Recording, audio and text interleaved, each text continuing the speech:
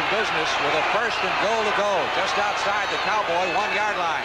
They go to Leon Perry, and Perry drives into the end zone. Touchdown.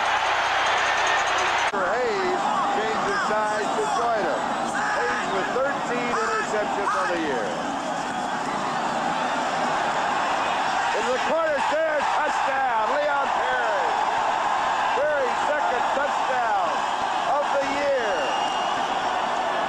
Have to win. You, you know, you have to win when you don't play great. Third and 12 on the 19.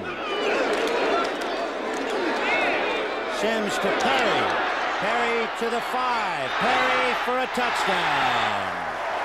Leon Perry, two years out of Mississippi. Phil Simms is saying it's about time. I needed that earlier. He gets a touchdown, but he really isn't happy. No. You know, he wanted that. He would have liked to have that in the first or second quarter. But still, he gets the ball out there. The Eagles were playing deep, so they were giving a cushion underneath to those linebackers, and Perry just goes boom and met Randy Logan in the end zone. So that's